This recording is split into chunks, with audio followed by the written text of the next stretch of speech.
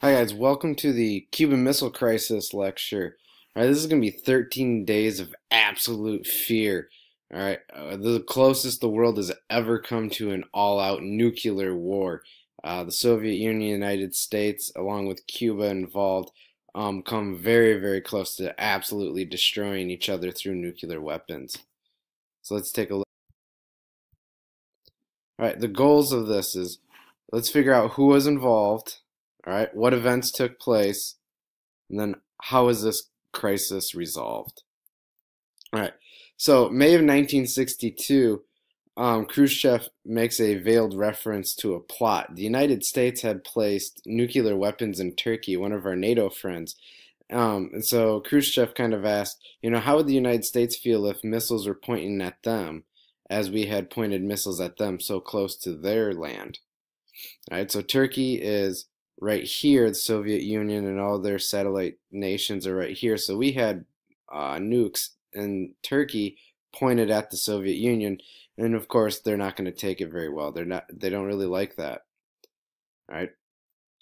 So Cuba. Let's take a look at how close Cuba is. Uh, the capital Havana is only 104 miles away from Key West, um, actual American land.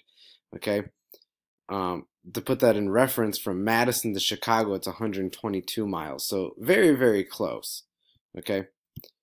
So let's take a look at the cast. We have Nikita Khrushchev, the Soviet premier at the time, our president John F. Kennedy, and the Cuban president Fidel Castro.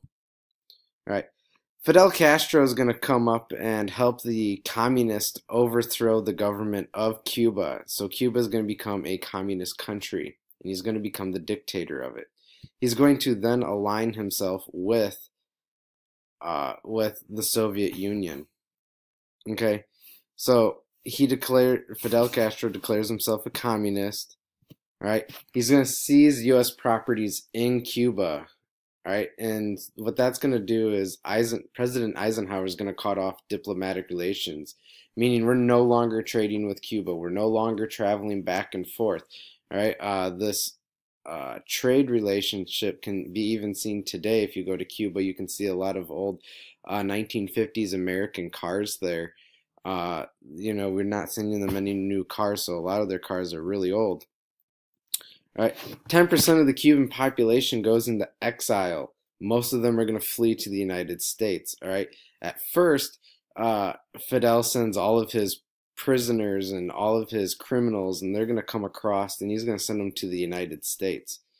All right, um, and also people running from uh, from the communists, the people who would have fought the communists. All right, so the Eisenhower administration came up with this idea of invading Cuba to take down Castro. All right, it becomes known as the Bay of Pigs. So the Cuban exiles are going to team up with the CIA and they're going to plan an invasion to take down Castro. Uh, the plans go horribly wrong. The Cuban exile forces never make it off the beaches, all right? They're either killed or taken prisoner immediately. So this is a huge embarrassment for JFK. He has to pay the ransom for these people in food and medicine. Right, and this comes out publicly uh, to the world. It's a huge embarrassment. We tried to invade Cuba and we failed miserably. Right, as I said before, the Eisenhower administration had come up with this. So when JFK goes into office, he inherits this plan and um, is going to be the president in place when it's carried through. All right, so the Bay of Pigs, the invasion site was right here. All right, um, as I said, they don't make it off the beaches. They're either killed or captured by Castro's army. All right. Next, what is going to follow is the Cuban Missile Crisis. So Cuba is very paranoid that the United States is going to try another invasion on Cuba, so they're going to reach out to the Soviet Union.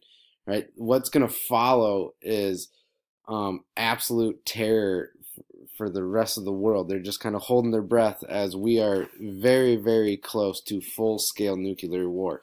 You have to understand at this time period, the United States and the Soviet Union have enough nuclear bombs to absolutely waste and destroy each other.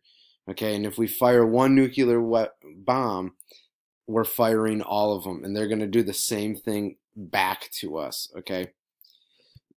so we send uh, once again our U-2 spy planes are going to fly over Cuba, and what we notice is they have missile ready tents. All right, so a missile will stand up inside these tents. All right, the tent would come down at launch time, and then they would launch from here. All right, we also have other launch positions that we had seen in fuel trailers. Altogether, we see eight missile trailers, and you can see them on the picture taken by the U-2 plane right here. Uh, very long, so clearly they have some big missiles under there. Right, and here's a close-up picture of these uh, missile tents. Right, and hiding in here are uh, missiles with nuclear warheads attached. Now, these nuclear warheads that are attached, um, they're 50 times more powerful than the atomic bomb that we dropped on Hiroshima. So imagine the devastation. There's eight of them there. Okay, uh, absolute massive devastation. So uh, Khrushchev's going to send these weapons to Cuba, uh, including nuclear missiles. Right, the two types of missiles he sends are medium range ballistic missiles and intermediate range missiles. JFK, once we find these, we make it public. Hey, we know what you're doing. All right, if you fire any of those, you're going to be triggering. Uh, we're going to be triggering a war on you, and have no doubt about it. Once one nuclear weapon is or bomb is sent, all right, we're going to be sending a lot of ours, and we're going to send them right at the USSR and at Cuba. So, you know, one missile fire on either side is an all out nuclear war where we're going to absolutely destroy each other. Right? So, to take a look at this, the darker yellow color are these medium range missiles, okay? So they could hit Washington, they could hit Chicago once they were fired from Cuba. All right, they could totally way late or lay waste to the east coast pretty much. And then these intermediate range uh, ballistic missiles, um, they would finish off the rest of the United States. The only part that is safe is up here, uh, Seattle and part of the west coast.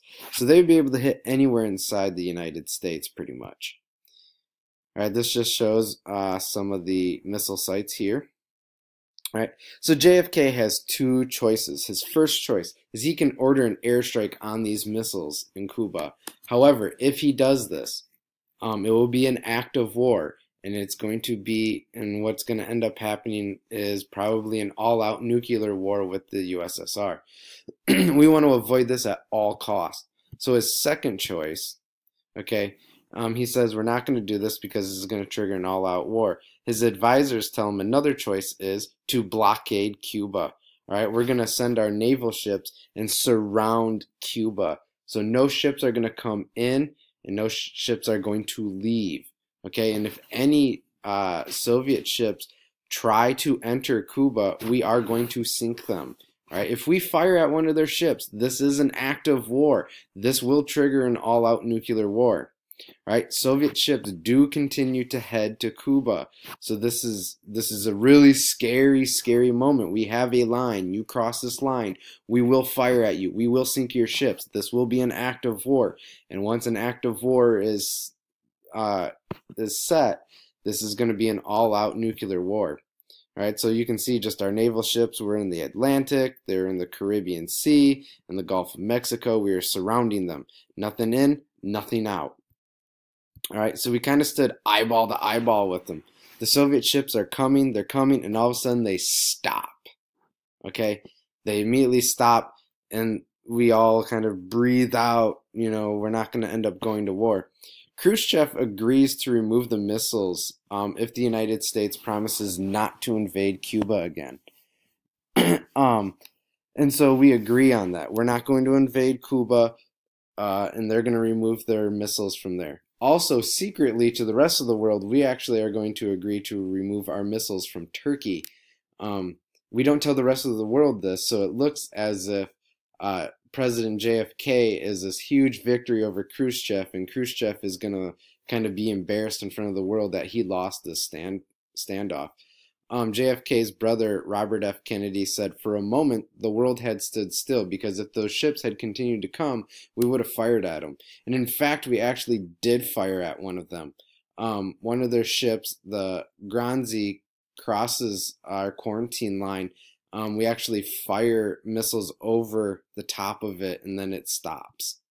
Okay.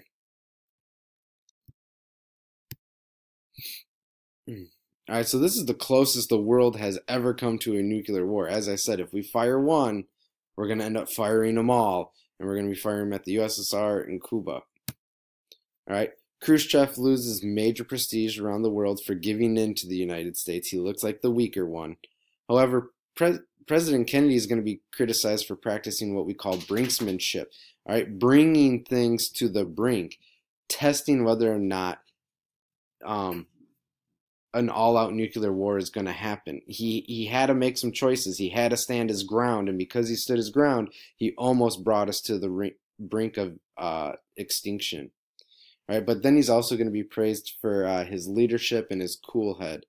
Okay, he he played it safe. He was calm. Okay, and he didn't make it any worse than it needed to be, but it came very, very, very close uh, to an all-out nuclear war between the two major world powers. All right, just a update on Cuba today. Um, this is Fidel Castro right here.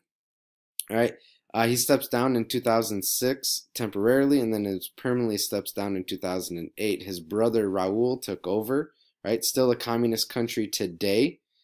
Um, some restrictions have been eased on travel, and in fact, just in the recent year, um, we have opened up uh, travel relations with Cuba, maybe also to um, start up our trade again with Cuba.